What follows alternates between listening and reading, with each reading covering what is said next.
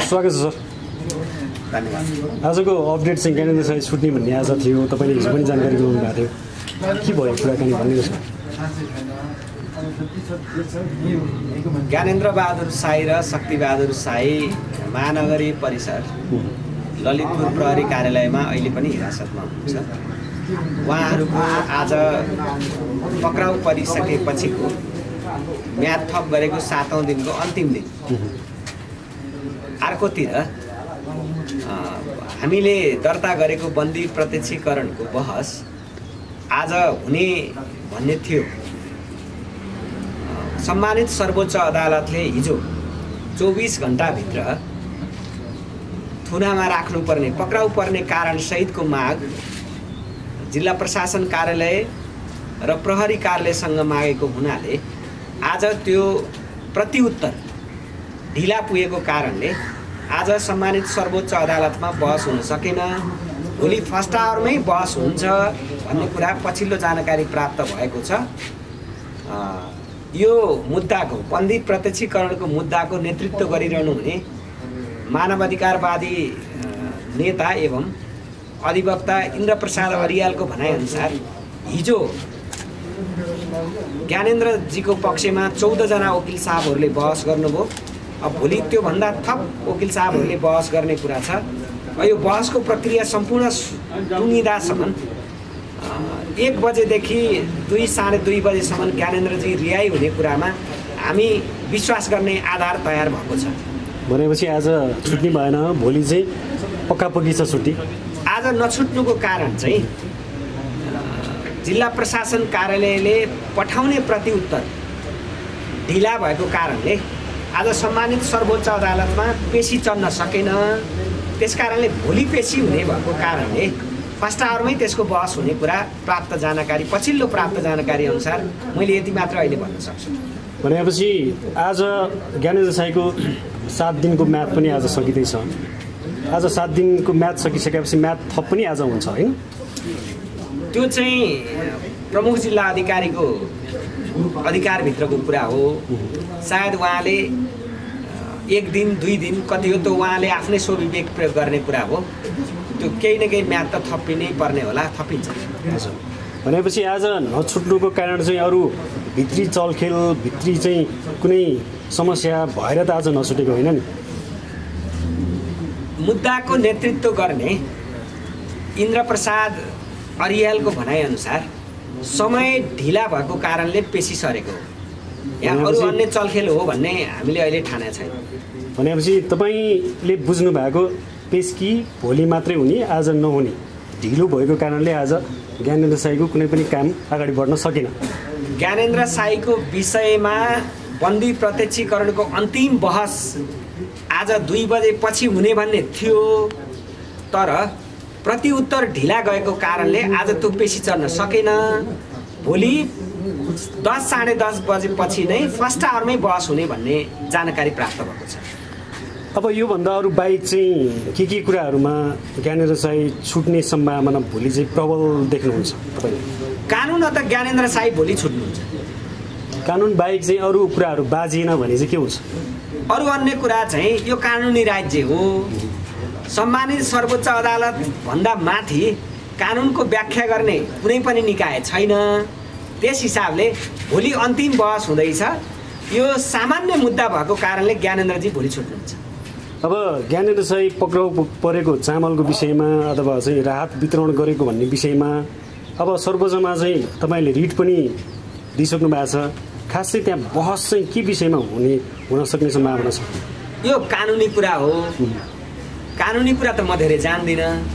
तर जुन शीर्षकमा मुद्दा दर्ता भयो त्यो चाहिँ गैर कानुनी ढङ्गले यो पक्राउ गर्ने काम भयो भनेर ज्ञानेन्द्रजीको पक्षमा अन्तरिम आदेशका लागि बन्दी प्रत्यक्षीकरणको मुद्दा दर्ता भइसकेपछि त्यही मुद्दाको स्पिडमा लयरहरूले बहस गर्ने कुरा हो। त्यो चाहिँ म आफू कानुनको विद्यार्थी नभएको कारणले यो विषयमा सबै मलाई जानकारी हुने कुरा पनि भएन र यो विषयमा मैले धेरै बोलेँ भने यो पाठो भए हुन्छ म बोल्न चाहन्छु। अब ज्ञानेन्द्र साईको विषय चाहिँ अब सर्वोच्चमा गएर अड्कियो। सिडिओको कारणले अथवा चाहिँ अरू कारणले अरू राजनीतिक विषयले अथवा विभिन्न चलखेलले भोलि अड्किने सम्भावना चाहिँ नरहला भनेर हामीले भन्यो भने के हुन्छ? विश्वास गरौँ।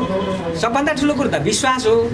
अहिलेसम्मको नजिरलाई हेर्ने हो भने ज्ञानेन्द्रजीले भोकाहरूलाई राहत दिनुभएको हो। कुनै एउटा जघन्य अपराध गर्नुभएको होइन।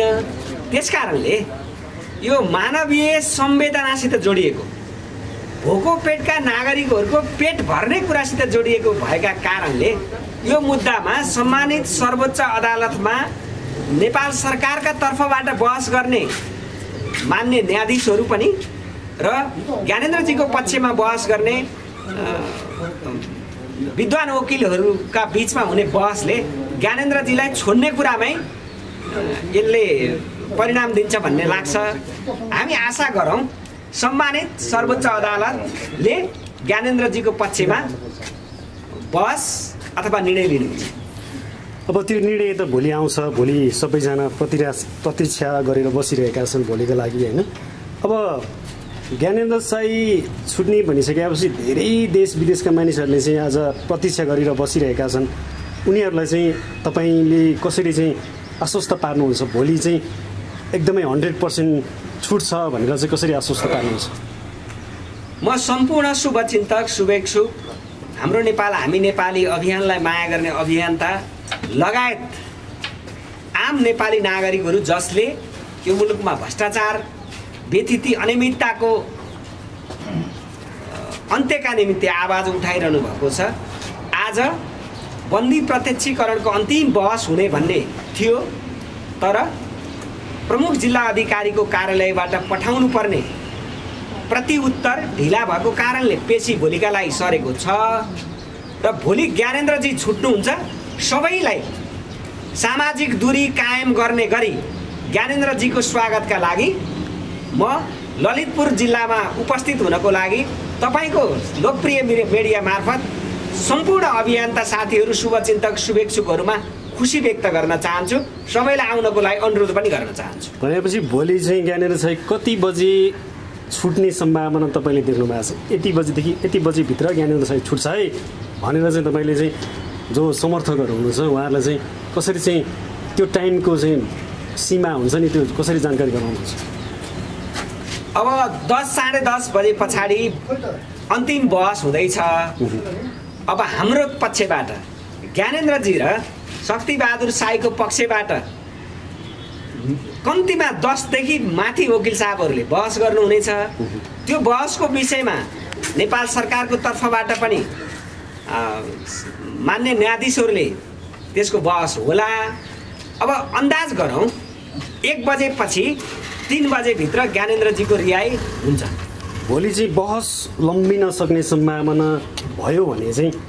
भोलि नै अन्तिम बहस हो त्यस कारणले त्यो बहस ल नलम्बेला। भनेपछि तपाईँहरूको तर्फबाट कसले चाहिँ बहस गर्दैछन् भोलि? हाम्रो तर्फबाट त्यो बहसको नेतृत्व निवेदनकर्ता अधिवक्ता इन्द्रबहादुर इन्द्र प्रसाद अरियालले नेतृत्व गर्नुभएको छ। उहाँ लगायत हिजो चौधजना वकिल साहबहरूले बहस गर्नुभयो। भोलि त्यो चौधभन्दा बेसी हुने सम्भावना छ। अब त्यो पन्ध्र हुन नि सक्छ अठार हुन पनि सक्छ। भोलि चाहिँ विविध विषयमा चाहिँ ज्ञानेन्द्रको राहत वितरण लकडाउन उल्लङ्घ उल्लङ्घनको विषय अथवा विभिन्न विषय पक्ष विपक्षमा चाहिँ विवाद हुनसक्छ बहस हुनसक्छ त्यसमा चाहिँ कहीँ कमजोरी अड्किने ठाउँ भयो भने चाहिँ तपाईँहरूको अभियान कसरी अगाडि बढ्छ तपाईँहरूको चाहिँ यो अभियानले कुन रूप लिन सक्छ भन्नुहोस्। ज्ञानेन्द्रजीलाई थप दुःख दिने प्रयत्न भयो भने भोलि जो यो अभियानको माया गर्ने शुभचिन्तक शुभेच्छुकहरू यहाँ आउनुहुन्छ। शुभचिन्तक शुभेच्छुकहरूको बिचबाटै म अभियानको प्रवक्ताको हैसियतमा आन्दोलनको घोषणा गरिनेछ। अब लकडाउन भइराखेको अवस्थामा जसरी ज्ञानेन्द्र साईलाई पक्राउ गरिएर चाहिँ जमखेल महानगरीय वृत्तमा राखिएको छ। अब यो बेलामा ज्ञानेन्द्र साई नछुट्ने भइसकेपछि तपाईँहरूले चाहिँ आन्दोलनको रूप लिनुहुन्छ। तर त्यो लकडाउनको अवस्थामा चाहिँ त्यो आन्दोलनको रूप चाहिँ कस्तो हुन्छ? कसरी चाहिँ लकडाउन भइराखेको अवस्थामा देश महामारीमा गएको अवस्थामा कन्ट्रोल गर्ने सिलसिलामा लकडाउन भएको अवस्थामा त्यो आन्दोलनको स्वरूप चाहिँ कस्तो प्रकारको हुन्छ? हामीले नेपाल सरकारलाई एउटा सृजनात्मक आन्दोलन देखाउने अवसर प्राप्त हुन्छ कि भन्ने हामीलाई लागेको छ। अहिले जो जो मान्छे सरकारमा छन् जसले सरकारको नेतृत्व गरेका छन् यिनीहरू रेलिङ भाँच्नेहरूको ग्रुप हो। हामी सृजनात्मक आन्दोलन कस्तो हुन्छ भन्ने कुरा यिनीहरूलाई पाठ पनि सिकाउँछौँ। ज्ञानेन्द्रजी रिहाई हुने कुरा त भोलि रिहाई नहुनु होला चार दिनपछि हुनुहुन्छ। यो सरकारले फसाउने कुनै कुनै कुनै कतैबाट पनि त्यो कुचेष्टा नगरे हुन्छ। ज्ञानेन्द्रजी फस्नुहुन्न तपाईँले यही केसमा चाहिँ। ज्ञानेन्द्रजीलाई दुःख दिन त दिनुभयो। अहिलेको सन्दर्भमा ज्ञानेन्द्रजीलाई भोका मान्छेलाई खाद्यान्न बाँड्यो भन्ने न्युमा ल्याएर हिरासतमा राखेर दुःख त दिनुभयो। यो दुःख दिएको प्रति पनि तपाईँहरूको कुचेष्टाप्रति हामी खेद प्रकट गर्न चाहन्छौँ। तर जहाँसम्म तपाईँले धेरै दुःख दिने अब थप कष्ट दिने काम नगर्दा नै राम्रो हुन्छ। म नेपाल सरकारका सम्बन्धित निकायहरूप्रति सम्मानित अदालतलाई सम्मान गर्दै बाँकी अन्य सम्बन्धित निकायहरूप्रति हार्दिक आग्रह गर्न चाहन्छु अनुरोध गर्न चाहन्छु। भनेपछि ज्ञानेन्द्र साईले सरकारलाई दुःख दिएन। सरकारले चाहिँ ज्ञानेन्द्र साईलाई दुःख दियो भन्ने तपाईँको अभिव्यक्ति भयो। ज्ञानेन्द्र साईले त सरकारले गर्नुपर्ने काम गर्दै हो। मान्छेले लकडाउनको अवस्थामा खान नपाएर रोइरहेको बेलामा बालबच्चाको म आफू भोको बसेर नि बालबच्चाको पेट भर्न पर्यो हजुर भनेर कराइरहँदाखेरि राज्यले गर्नुपर्ने काम? हाम्रो नेपाल हामी नेपाली अभियानका संयोजकले राज्यले गर्नुपर्ने काम गर्नुभयो। राज्यले त सम्मान गर्नुपर्ने। यत्रो ठुलो अपमान किन गरिरहेछ? यो बुझिन सक्नु भइरहेछ हेर्नुहोस्। भनेपछि सम्मान गर्नुपर्ने ठाउँमा अपमान भयो। निश्चित हो। सम्मान गर्नु थियो पर्थ्यो तर अपमान गर्यो। यो चरित्र हो। यो जस्तो चरित्र बोकेका मान्छेहरू सरकारमा जान्छन् मैले अघि नै भने नि रेलिङ भाँच्ने मानसिकता बोकेकाहरूको ग्रुप अहिले सरकारमा छ। त्यस कारणले उनीहरूले सभ्यताको कुरा त जान्दैनन् असभ्य कुरा सिकेका मान्छेले सभ्यताको कुरा त जान्दैनन् वास्तविक कुरा त यही हो। त्यस कारणले ज्ञानेन्द्रजीलाई दुःख दिएको कुरालाई मैले एउटा चाहिँ एउटा डिप्लोमेसी हिसाबले हेर्दाखेरि असभ्य मान्छेहरूले सभ्यता कुरा बुझ्दैनन्। त्यस कारणले असभ्य सिकेकाहरूले सभ्यताका कुरा जान्दैनन् सभ्यता सिकाउनुपर्छ भन्ने हामी मान्यता छौँ। त्यसै कारणले भनिरहेछौँ हामीले अहिलेसम्म त सामाजिक सञ्जालबाट प्रेसर खडा गऱ्यौँ। अझै हामी भनिरहेछौँ सामाजिक दूरी कायम गरेर सृजनात्मक आन्दोलनको घोषणा गरिन्छ भनेका छौँ। तर त्यो ठाउँसम्म जान नपर्दै हुन्थ्यो भन्ने चाहिँ लागेको छ। हेरौँ सम्मानित सर्वोच्च अदालतले ज्ञानेन्द्रजीको पक्षमा नै निर्णय गर्